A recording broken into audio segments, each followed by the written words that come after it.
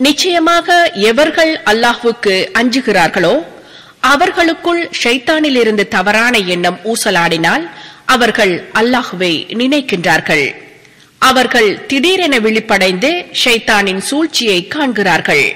ஆனால் ஷைத்தான்களின் சகோதரர்களோ அவர்களை வழிகேட்டிலேயே இழுத்துச் செல்வார்கள்.